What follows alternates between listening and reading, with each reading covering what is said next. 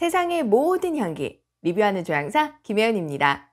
오늘의 리뷰 향수는 바로바로 바로 아주 따끈한 신상 르라보의 시트롱 28입니다.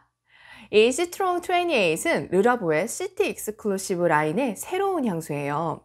르라보 매장이 있는 도시를 모티브로 한 City Exclusive는 지금까지 뉴욕, 런던, 파리 등 13개의 도시향을 출시하고 이번에 14번째 도시로 서울이 선정되었습니다. 그래서 시트롱 28이 출시되었습니다. 언제 출시되었냐고요? 바로 지난주 월요일인 8월 3일에 출시되었어요.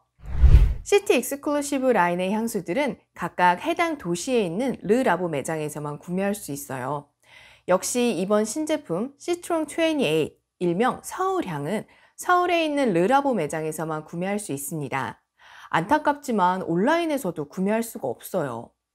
현재 시트롱 28을 판매하는 매장은 르라보 부티크 이태원점과 가로수길점, 그리고 신세계 백화점 강남점, 갤러리아 백화점, 현대백화점 무역센터점 총 5곳의 매장에서만 구매하실 수 있습니다.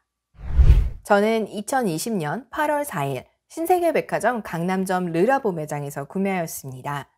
출시된 용량은 15ml, 50ml, 그리고 100ml입니다.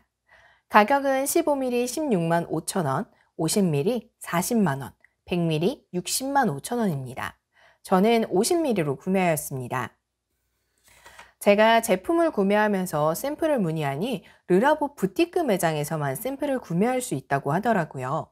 샘플의 가격은 16,000원입니다. 백화점에서는 시트롱 28의 샘플을 구매할 수가 없었어요. 그리고 르라보 향수를 사면 라벨링을 할 수 있잖아요. 원래 영어로만 되던 라벨링이 이번 서울향 출시 기념으로 한글로 라벨링 할 수 있게 되었다고 해요. 8월 한 달 동안은 시트롱 28만 한글 라벨링이 되고 9월부터는 라벨링이 가능한 전 제품에 한글 라벨링이 된다고 하니 참고하시기 바랍니다. 그럼 포장을 뜯어볼까요? ASMR 시작합니다.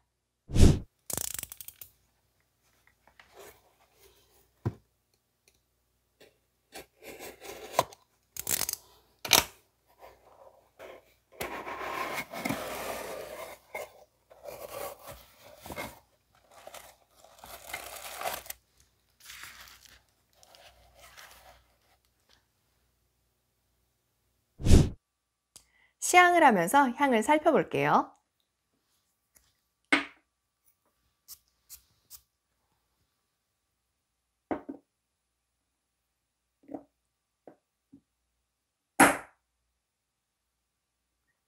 뿌리자마자 레몬 껍질의 냄새가 확 치고 올라와요.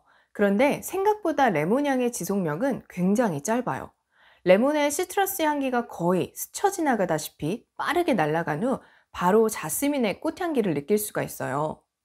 향수의 이름처럼 시트러스가 메인인 향기인가? 라고 생각을 했는데 생각보다 시트러스의 향기가 너무 빨리 사라지는 기분이라서 약간 의아한 느낌으로 향이 시작하네요. 생강이 들어갔다고 하는데 저는 생강향이 별로 느껴지지는 않아요. 아마 꽃의 향기를 조금 더 따뜻하게 만들어줄 정도의 느낌이 아닐까 싶네요.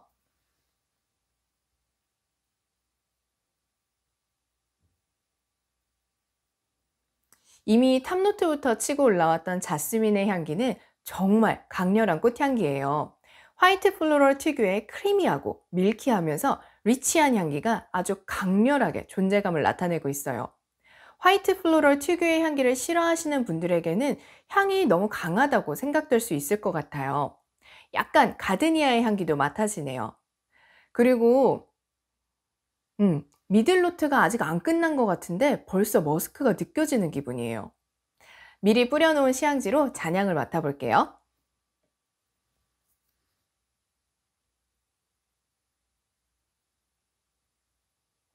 잔향은 초반에 아주 강렬하게 느꼈던 자스민의 향기가 은은하게 느껴지기 시작했어요. 뭔가 미들의 자스민은 밍크 코트 입은 사모님의 느낌이었다면 last note에서의 자스민은 우아하면서 청초한데 예쁘기까지 한 여성의 느낌이에요. white floral의 강렬함이 한층 가라앉으니까 잔향에서는 굉장히 우아하고 예쁜 향기를 맡을 수가 있습니다. 거기다가 함께 느껴지는 woody와 머스크의 향기는 꽃향기를 더 진짜 꽃처럼 만들어주는 느낌이에요. 연상되는 이미지는 백화점에 옷을 사러 가서 점원이 권하는 어머 손님께는 이런 옷이 참 잘 어울릴 것 같아요 하는 예쁘고 트렌디한 옷을 입었는데 뭔가 뭔가 나쁜 건 아닌데 그렇다고 완전 나한테 맞는 것 같지도 않고 긴가민가 하다가 이것저것 옷을 입어보는 거죠. 그러다가 크게 유행을 타지 않는 깔끔한 옷을 입었을 때 이게 100%내 옷일 때 기대도 안 한 옷을 입었는데 이게 정말 나한테 찰떡일 때 그 기쁨 그런 느낌이 연상되는 향기예요. 생각나는 컬러는 하얀색이에요. 지난번에 다른 향수 리뷰에서도 연상된 색깔이긴 하지만 white floral이 메인인 향조라서 그런지 뽀송뽀송한 토끼털처럼 부드러운 하얀색이 생각나네요. 이 향수는 floral의 향조가 강해서 남성보다는 여성에게 더 잘 어울릴 향수예요. white floral의 우아하지만 깊이감 있는 향기는 30대 이상의 여성에게 잘 어울릴 것 같아요.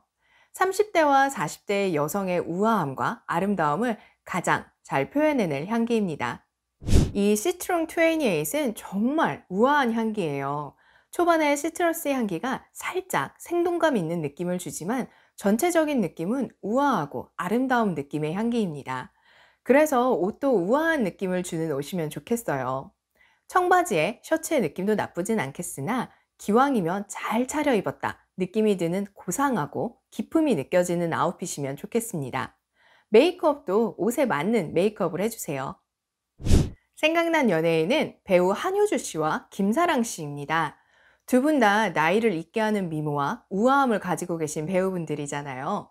저도 이분들처럼 나이 들면 좋겠다 생각하거든요. 너무 욕심인 것 같긴 하지만 이 두 분이 갖고 있는 우아한 분위기는 같은 여자지만 정말 부러워요.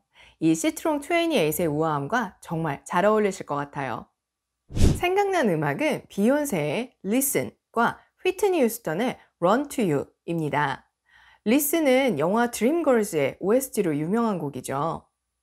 이 두 곡의 공통점은 바로 두 가수의 목소리예요.